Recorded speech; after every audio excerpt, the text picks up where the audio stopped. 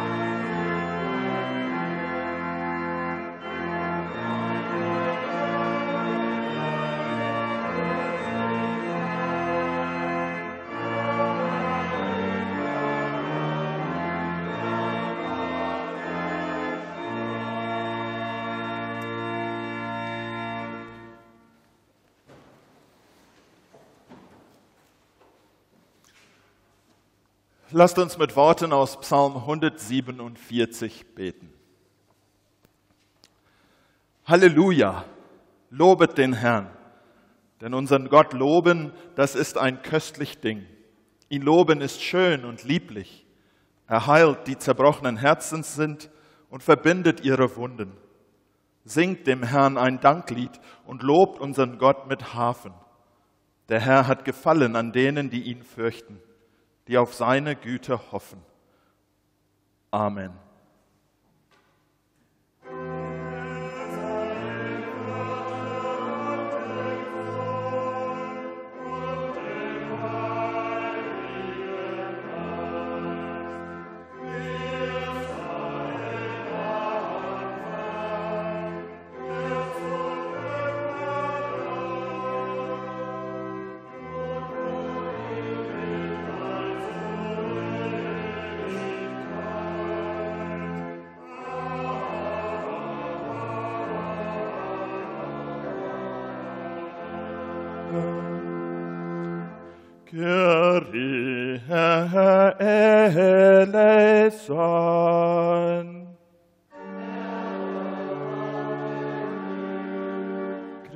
Christe eleison.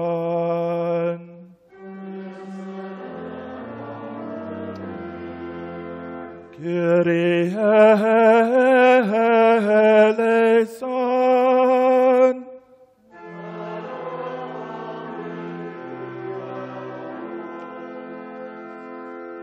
Ehre sei Gott in der Höhe.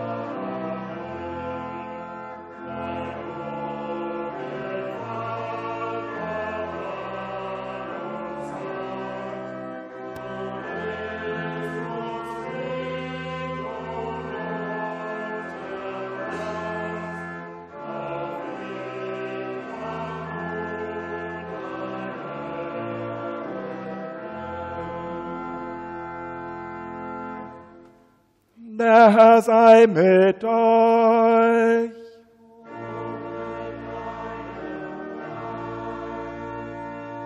Lasst uns beten. Unser Gott, du allein kannst unser Leben heil machen. Darum bitten wir dich. Öffne unsere Ohren, dass wir dein heiliges Wort hören und rühre unsere Zungen an, dass wir einstimmen in den Lobgesang der Erlösten. Dir sei Ehre in Ewigkeit. Amen.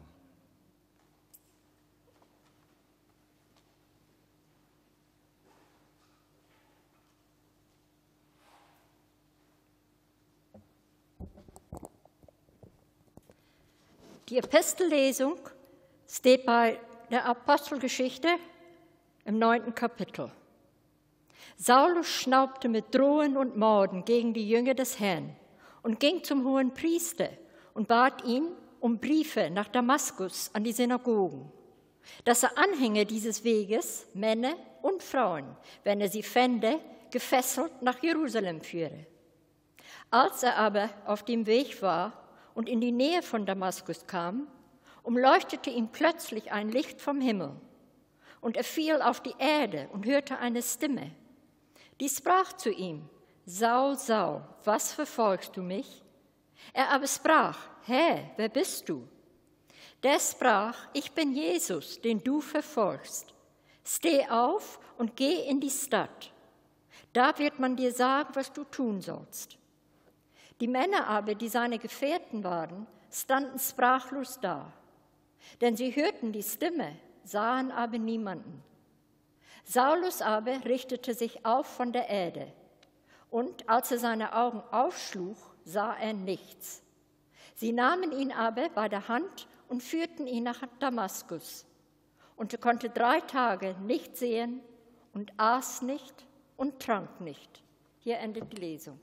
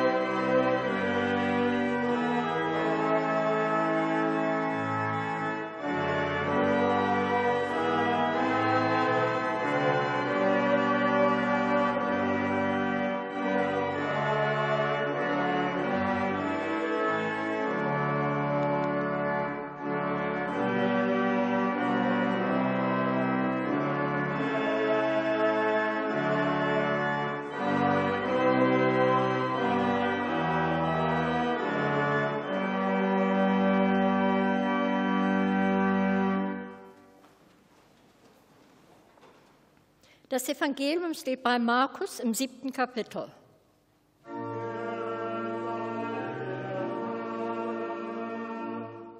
Als Jesus wieder fortging aus dem Gebiet von Tyrus, kam er durch Sidon an das Galiläische Meer, mitten in das Gebiet der zehn Städte. Und sie brachten zu ihm einen, der taub war und stammelte, und baten ihn, dass er ihm die Hand auflege. Und er nahm ihn aus der Menge beiseite und legte ihm die Finger in die Ohren und spuckte aus und berührte seine Zunge und sah auf zum Himmel und seufzte und sprach zu ihm, Hefata, das heißt, tu dich auf. Und sogleich taten sich seine Ohren auf und die Fessel seiner Zunge wurde gelöst und er redete richtig und er gebot ihnen, sie sollten niemanden sagen. Je mehr er es ihnen aber verbot, desto mehr breiteten sie es aus. Und sie wunderten sich über die Maßen und sprachen, er hat alles wohl gemacht. Die Tauben macht er hören und die Sprachlosen reden. Hier endet die Lesung.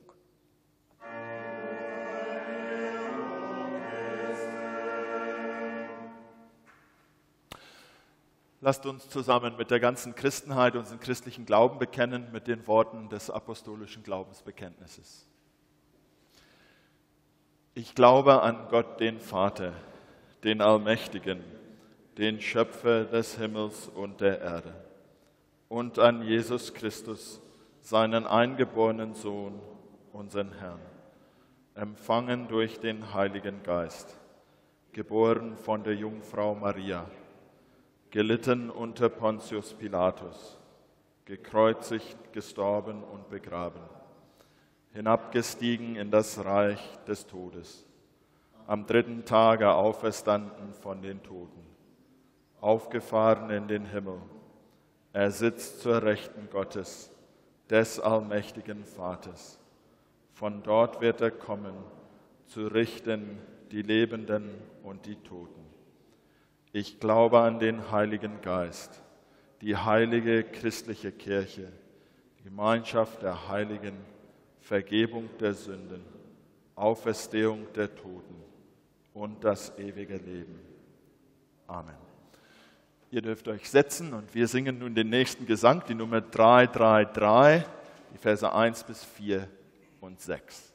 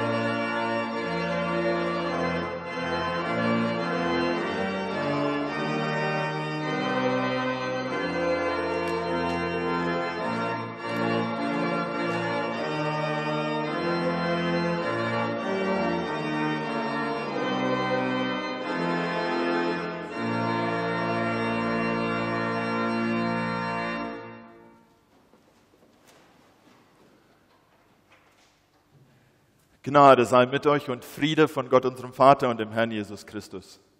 Amen. Lasst uns beten. Dein Wort, Herr, ist Heil.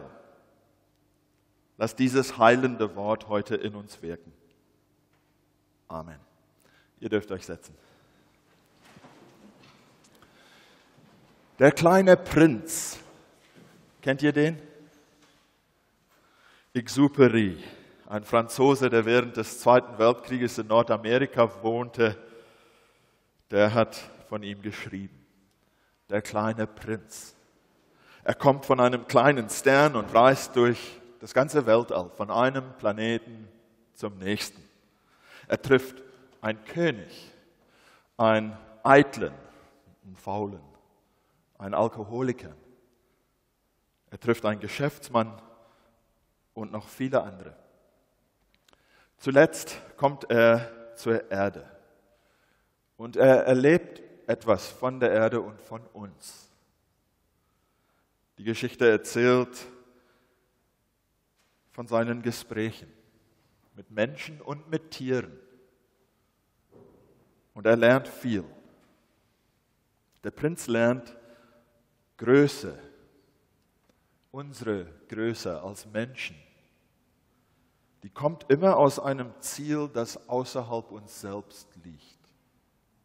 Unsere Größe kommt von einem Ziel, das außerhalb des eigenen Ichs gelegen ist. Sobald man den Menschen in sich selber einschließt, wird er arm.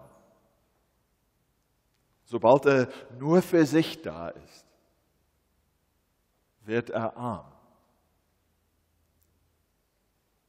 Diese Geschichte erzählt von dem kleinen Prinzen etwas. Es ist einfach eine Geschichte, die uns sagt, was er denn getan hat. Aber es ist natürlich auch sehr deutlich, dass die Geschichte erzählt wird, um uns etwas zu sagen. Auch über uns. Und so ist es sehr oft mit vielen Geschichten in der Bibel. Auch mit unserem Predigtext für heute. Wir haben ihn schon gehört er wurde als Evangeliumslesung vorgelesen und steht in Markus 7. Dieser Text erzählt von einem Mann, der taubstumm war. Die Geschichte erzählt, was dieser Mann erlebt hat, was seine Freunde getan haben, was Jesus mit ihm gemacht hat. Aber zur gleichen Zeit ist es auch eine Geschichte, die uns etwas erzählt über uns über Jesus, Sachen, die wir hören sollen. Wenn wir die Geschichte angucken, dann sehen wir, dass sie erstmal über diesen Mann was erzählt, was er erlebt hat, was Jesus getan hat. Und ich möchte das einfach kurz mal mit euch angucken. Ein paar kleine, aber sehr wichtige Details in dieser Geschichte. Jesus ging in das Gebiet der zehn Städte, Dekapolis. Wir hören es und denken, okay, da ist er hingegangen. Aber da wird schon was ganz Wichtiges gesagt. Jesus geht über die Grenzen hinaus. Er geht dahin, wo so gut wie keine Juden leben. Da sind die anderen. Da sind die Heiden. Er nimmt seine Botschaft in die weite Welt. Sollen wir da schon hören? Dann hören wir, dass die Menschen den taubstummen Mann zu Jesus brachten. Das hören wir sehr oft, wie Menschen das tun. Sie bringen Kranke zu Jesus. Die Menschen kümmern sich um Kranke, um Freunde zu helfen, die es brauchen. Und sie bringen ihn zu Jesus. Dann nimmt Jesus diesen Kranken beiseite, steht da. Das heißt, in diesem Augenblick handelt es sich um etwas ganz Persönliches. Das, was Jesus mit ihm tut, ist keine große Show. Er nimmt ihn beiseite. Und da, beiseite, passiert was ganz Wichtiges. Dann hören wir, Jesus legt den Finger in die Ohren und auf die Zunge. Auf Deutsch würden wir sagen, den Finger aufs Problem legen. Das ist etwas, das man sagt. Das tut Jesus. Und er gibt leiblich ein Zeichen, ein Zeichen seiner Kraft, seiner Kraftübertragung. Das wird deutlich gemacht durch diese Anrührung. Jesus guckt dann hoch zum Himmel und seufzt. Wir hören oft, wie Jesus hochguckt zum Himmel und Gott was fragt. Manchmal hören wir, als er das Brot gebrochen hat, er dankte dem Vater. Diesmal guckt er hoch und er seufzt einfach nur. Ist das nicht ein wunderschönes Bild von Gebet? Einfach nur seufzen ist auch ein Gebet. Das dürfen wir hören. Der Sohn Gottes guckt zu Gott und seufzt einfach nur. Und dann sagt er, Hefata, tu dich auf. Tu Ohren auf und höre, tu die Zunge auf und rede. Und wir hören, ja, dann konnte er wieder. Und diese Geschichte wird dann erzählt, sie wird ausgebreitet. Die Zungen tun sich tatsächlich auch weiter auf. Sogar wenn Jesus sagt, ihr sollt es jetzt nicht erzählen, weil die Zeit ist noch nicht reif. Aber sie können aus dieser Erfahrung nur davon erzählen. Und die Botschaft breitet sich aus. Und ganz am Ende hat Jesus ja zu seinen Jüngern tatsächlich gesagt, er hat sie beauftragt, geht in die Welt und erzählt, lehret. Das sollt ihr tun. Alles das wird in dieser Geschichte von diesem Mann erzählt. Die Geschichte erzählt uns einfach nur das, was passiert ist. Und doch erzählt sie uns auch viel mehr. Sie erzählt uns das, um uns etwas zu sagen. Etwas, das wir hören sollen. Mit Botschaften, die für uns wichtig sind. Ihr habt jetzt eben gehört, wie ich kurz diese Geschichte ein bisschen anders erzählt habe, ein paar Sachen hervorgehoben habe, die wir vielleicht nicht an erster Stelle hören, wenn wir die Geschichte hören. Habt ihr gehört, was uns das sagt? Jesus Christus ging und geht über alle Grenzen hinaus mit seiner Botschaft. So kam die Botschaft überhaupt zu uns. Wir sind keine Juden.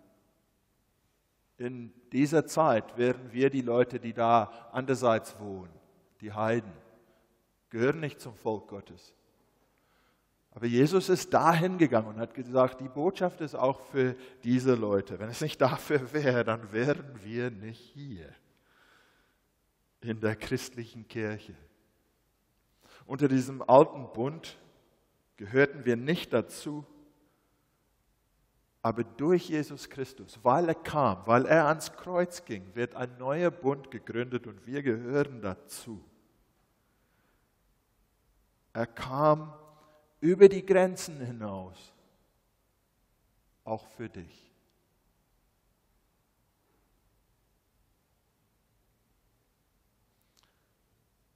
Und ich fange einfach erstmal bei uns an. Das ist was ganz Persönliches, was da passiert. Etwas zwischen ihm und dir. Bist du offen für die Wege, die Gott mit dir geht? Lässt du dich mal zur Seite ziehen, abseits, in der Stille, weg von der Hektik, dass er an dir und mit dir wirkt? Lauf nicht von den einsamen, stillen, vielleicht sogar wehen Gedanken weg. Das ist abseits. Aber vielleicht möchte Gott gerade da in dir wirken.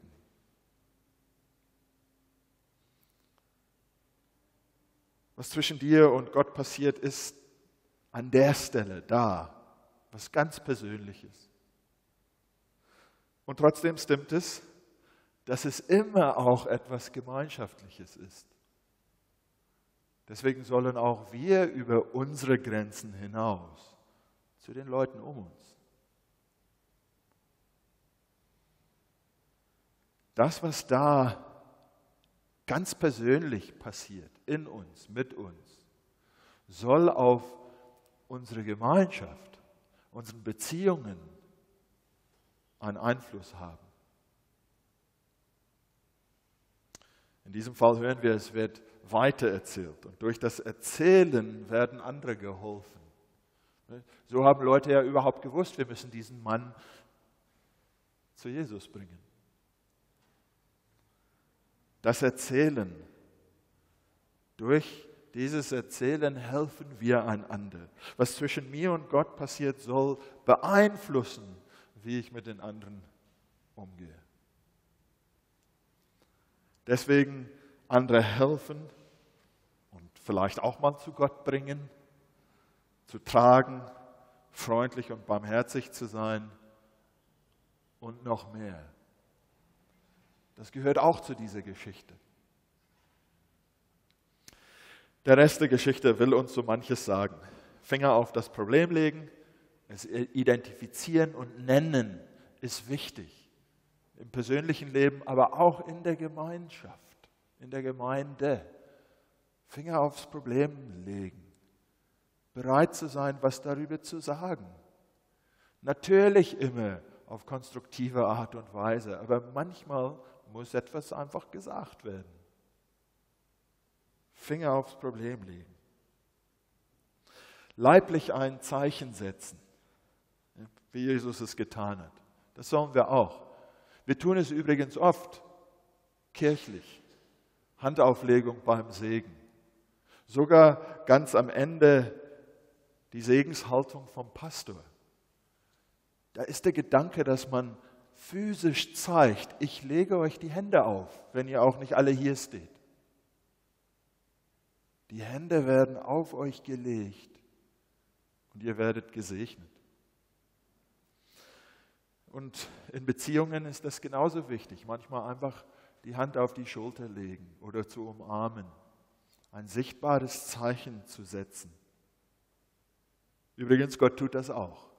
Die Sakramente sind ja genau das ein sichtbares Zeichen vom Evangelium, von der guten Nachricht. Dann will ich nur noch mal nennen das Gebet als Seufzer. Es tut einfach gut, dass wir wissen dürfen, das dürfen wir. Dies ist nicht die einzigste Stelle in der Bibel, die davon spricht.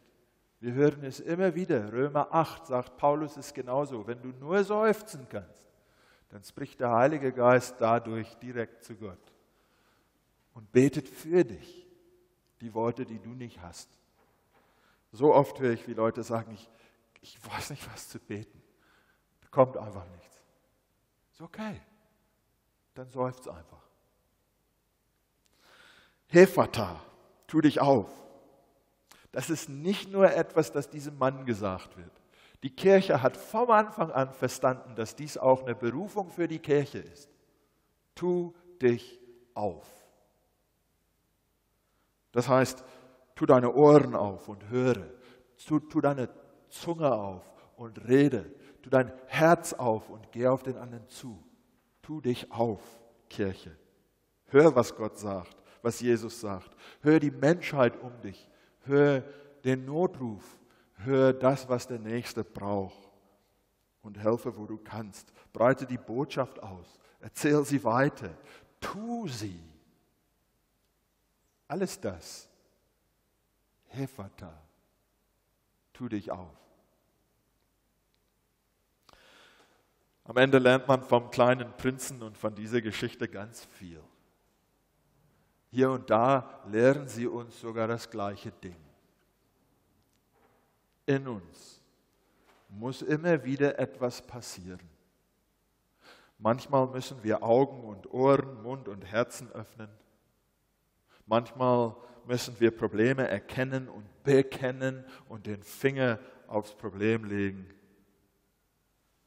Manchmal brauchen wir mehr, als was wir haben und können. Manchmal brauchen wir Heilung und geschenkten Frieden. Und noch so manches andere, was Gott tut, was Gott schenkt und was Gott in Jesus Christus verspricht. Das alles ist etwas ganz Persönliches und wir sollen uns den Raum, die Zeit, die Stille dafür in unserem Leben schaffen. Und meistens kriegen wir das nur abseits Aber es geht nie nur um mich oder nie nur um dich. Gemeinschaft ist auch wichtig. Wenn wir uns in uns selber einschließen, wie es der Prinz in der Geschichte hört, und der Mann es aus Gründen, anderen Gründen, für die er nichts konnte, erleben musste, weil er eingeschlossen war in sich selber, konnte nicht sprechen, konnte nicht sehen, konnte nicht hören. Wenn wir das tun und Ohren und Mund und Augen für andere schließen, dann werden wir arm. Dann haben wir genau die Heilung nötig, die dieser Mann nötig hatte und bekommen hat. Dass Jesus uns den Finger aufs Problem legt, uns anrührt und uns heilt, dass Ohren und Mund sich wieder öffnen und wir unsere Nächsten wieder hören und sehen und helfen. Mein Gebet für uns alle ist, dass er das bei uns tut. Und meine Ermutigung an euch alle ist, dass ihr es ihn tun lässt.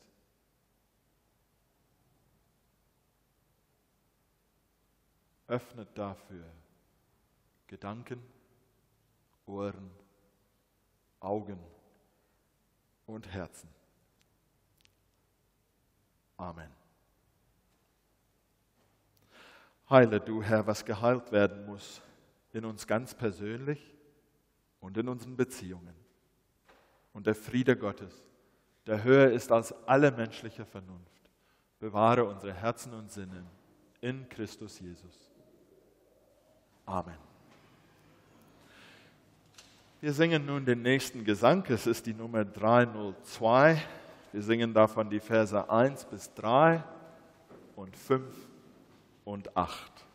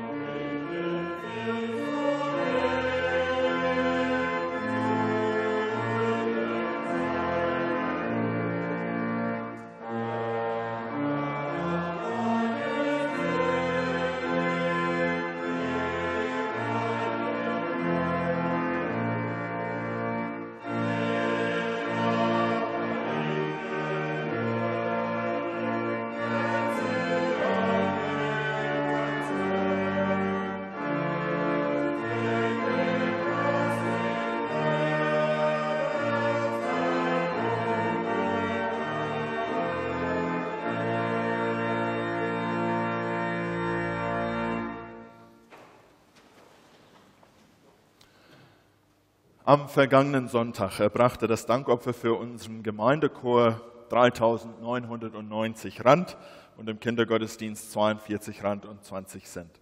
Gott segne Geber und Gaben. Das heutige Dankopfer ist für die Missionskasse unserer Kirche bestimmt. Die Missionskasse wird gebraucht, um Missionsprojekte in unserer Kirche zu unterstützen und ganz besonders auch vielen von unseren Gemeinden, neue Gemeinden, die gegründet werden als Missionsprojekt, zum Beispiel die Gemeinde in Belito und kleine Gemeinden, die weit weg von anderen Gemeinden sind, wo da keine andere Gemeinde von unserer Kirche ist, zum Beispiel Trinity Zululand. Die werden auch durch diese Missionskasse unterstützt. Das Dankopfer wird wie in dieser Zeit üblich am Ausgang eingesammelt, aber wir werden jetzt schon ein Dankgebet dafür sprechen. Lasst uns beten.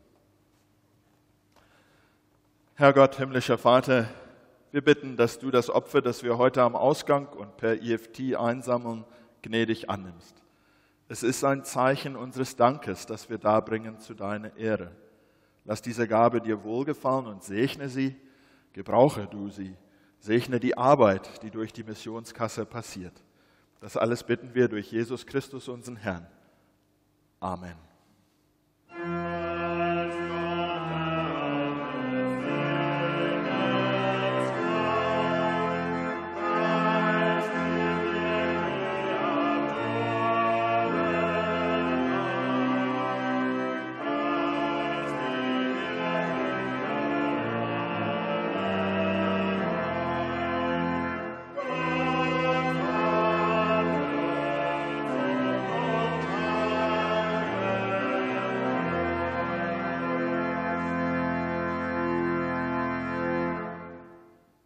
Gnädiger Vater, wir haben viel, worüber wir uns freuen dürfen.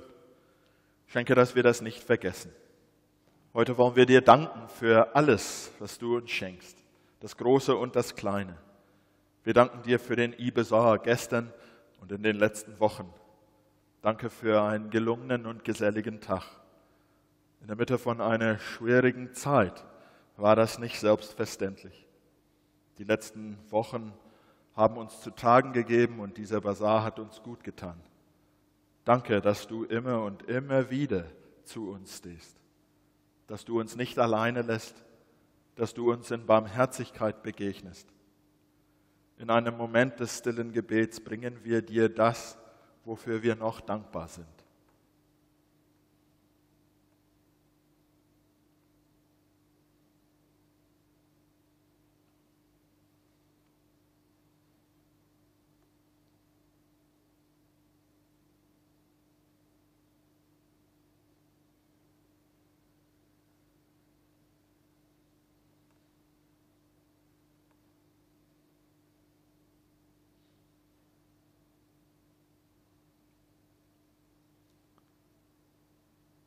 Herr, wir machen uns über vieles Sorgen in Land, Gemeinde und Familie wegen Krankheit, Streit und Wette.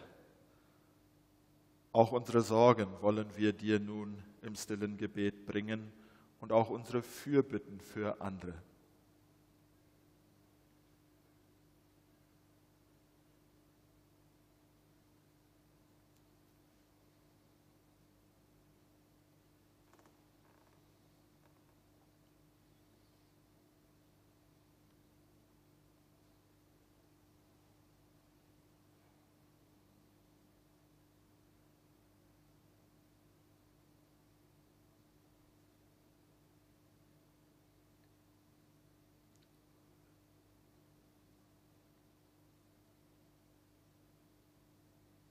Herr, erbarme dich. Christe, erbarme dich. Herr, erbarme dich unser. Schenke uns als Kirche lebendige Gemeinden. In unserer Kirche liegt so manches in den nächsten Wochen und Monaten vor uns. Wir denken besonders an die außerordentliche Synode, die in ein paar Wochen Zeit online stattfindet. Es ist zwar eine verkürzte Synode, aber wir bitten trotzdem, dass du sie segnest und dass die Gespräche und Beschlüsse nicht nur zum Segen für unsere Kirche werden, aber auch dazu beitragen, dass dein Reich komme, auch durch uns. Alles legen wir in deine Hand. Mache es mit uns gut. Dir sei Lob und Preis von Ewigkeit zu Ewigkeit. Und auch das bringen wir nun zum Ausdruck, indem wir das Gebet zusammen beten, das unser Herr Jesus Christus uns gelehrt hat. Vater unser im Himmel, geheiligt werde dein Name, dein Reich komme, dein Wille geschehe, wie im Himmel, so auf Erden. Unser tägliches Brot gib uns heute und vergib uns unsere Schuld, wie auch wir vergeben unseren Schuldigen. Und führe uns nicht in Versuchung, sondern erlöse uns von dem Bösen. Denn dein ist das Reich und die Kraft und die Herrlichkeit in Ewigkeit. Amen. Gehet in dem Frieden des Herrn.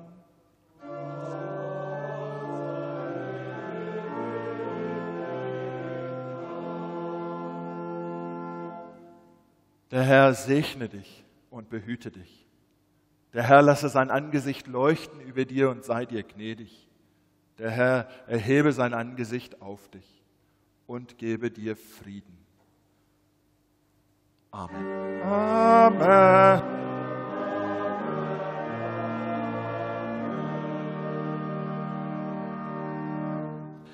Wir singen nun noch das Schlusslied, die Nummer 443, davon die Verse 1 und 6 bis 7.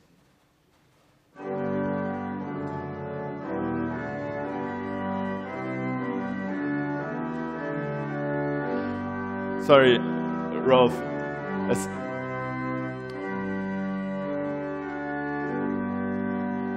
wir fangen das nochmal an, mein Fehler. Wir singen die Nummer 170.